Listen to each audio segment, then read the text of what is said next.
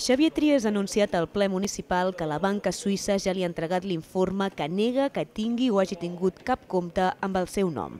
Vull que quedi ben clar que no tinc cap compte a Suïssa ni cap compte a Andorra, ni en lloc que no sigui Catalunya. Trias ha dit que ara té les eines per defensar-se i que arribarà fins on faci falta per defensar la seva honorabilitat. L'alcalde, però, ha anat un pas més enllà i amb un to molt contundent ha fet aquest anunci. Filtrar aquesta investigació és una vergonya, però una absoluta vergonya. Pressionar per part d'un ministre als mitjans de comunicació perquè publiquin això ja és el colmo de la vergonya crec que és gravíssim i no estic disposat a admetre-ho de cap de les maneres i penso demanar la dimissió del ministre d'Interior.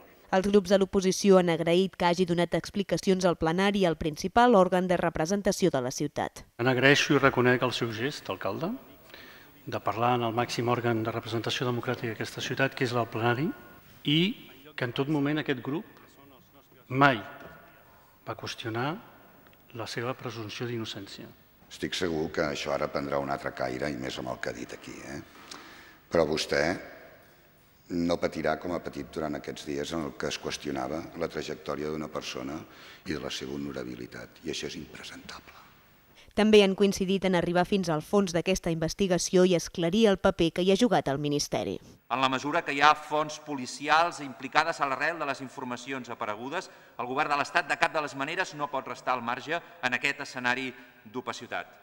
La ciutadania té dret a saber i Interior ens ha d'informar sobre l'existència o no d'aquesta investigació. No deixa de sorprendre que alguns quan eh, llegeixen determinades informacions en alguns mitjans de comunicació derivades de presumptes o no filtracions eh, policials, doncs escandalitzin o busquin intencionalitats polítiques. Trias ha recordat que dimarts passat va presentar una querella contra els periodistes del Mundo que van signar l'article i contra l'editora del diari, una querella que ampliarà si es publiquen més informacions falses.